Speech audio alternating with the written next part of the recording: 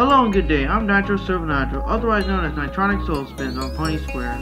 I'd like to take some of your time today to introduce you to an OC today from the site. I plan on keeping this series at least every at least an episode every two weeks if possible. Let's get to the review. I hope you like this one. Attention, this OC is purely fictional and under no situation can this be OC be stolen for your OC. If you have a problem making OC for this, this series not for you, please contact me at this email on the screen to make support necessary to me. This OC, this episode is purely authorized by owning the content creator, and in no way do I own this OC.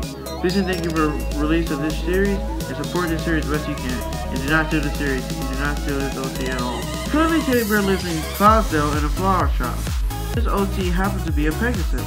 She owns a flower shop and a home on top of it, so she owns it, so she owns it.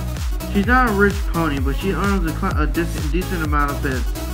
In a very time of year, during the winter her flower sales are high, as the pegasi can fly, but here during the winter they're kind of, during the summer they're kind of low, because people happen to fly that low for it. Her likes are animals, music, flowers, hugs, movies, food, sleeping, drawing, rain, and Claude Bear for her lover.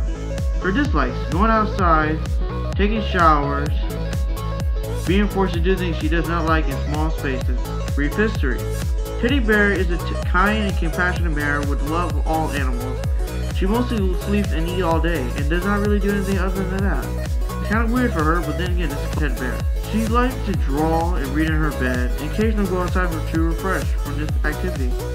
She adores music and listens to it whenever she has a chance to. She binges on food, and because of that, she does not go outside very much, which is not helpful her. Her mane takes a lot of time to take care of, whereas she wants to keep her want, and she's always conscious about it. Overall, overall, she's gonna have a great deal of self-confidence.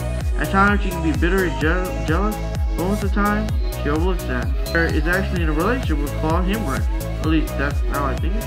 Teddy is the kind of mare that will randomly hug you no matter what you feel like. She makes you want. She makes you feel good about her hug. She even hugs the Lily Pony, and even a changeling. So if you see this mare wa walking, you better get hugging. Remember, to be careful hugging her. She's like a Pokemon, so travel in tall grass. Teddy's cutie mark happens to look like a cuddly teddy bear known as Stitches. This concludes the episode, and thank you for watching. For all the art belongs to the content creator, none by me except mine, for they're all my selfies. Now goodbye, not goodbye, and be a very good content creator. Thank you for your time. Goodbye now.